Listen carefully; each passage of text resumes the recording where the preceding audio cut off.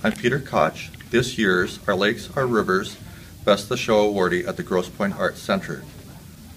My foray into the art of photography began with a 35mm camera and a desire to capture those rare moments such as an amazing sunset or majestic clouds following a summer storm. The camera became a tool to assist with the exploration of the environment around me, even to re-examine and re-explore familiar environments in a different light and convey that exploration to the viewer.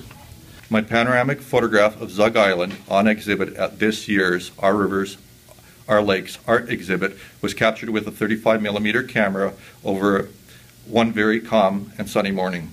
On first sighting, Zug Island's steel mills architecture, its character and length reminds one of connection to our past and industry that helps help shape their Great Lakes.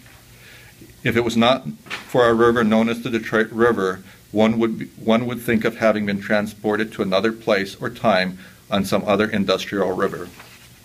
The photographic panoramic of Zug Island, 5 feet and 8 inches wide and 12 inches tall, provides us with a glimpse of that world with its coke, iron ore, and limestone piles, smokestacks, cranes, elevators, architected from another era, its reflection in the calmness of the Detroit River, a reflection of another world, paints an artistic picture.